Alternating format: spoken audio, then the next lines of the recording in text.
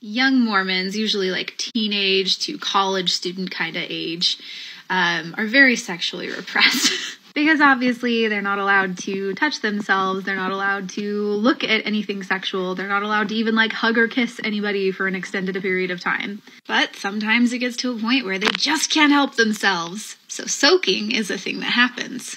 And that is basically where the boy puts his penis inside the girl and then they just hold still. No thrusting because that would be sex.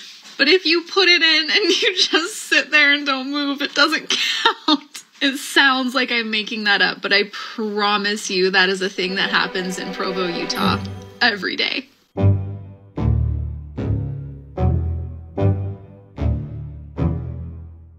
I don't know what that is. Really? No.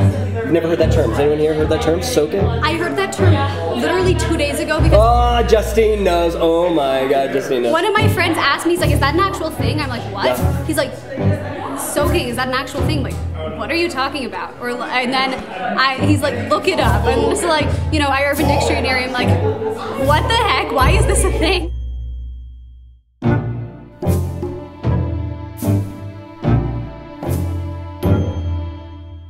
In one of the green rooms at BYU, we explained to Deborah, an aspiring sex therapist turned acting major, the term. Tommy walks by. What is it? So soaking is where where basically having sex, but there's insertion, uh-huh. but you don't move. And therefore, people think it's okay. You mean penetration, without Penetration. moving, and Penetration, not moving. And therefore, it's and the term soaking is that it's okay. Like it's Is not that- doesn't count as that's not sex. Sex. it's not. Yeah. That's stupid. I think it's so funny. If it's stupid, would Epix have included it in their hit show Get Shorty? So you've never had sex? Not really, no.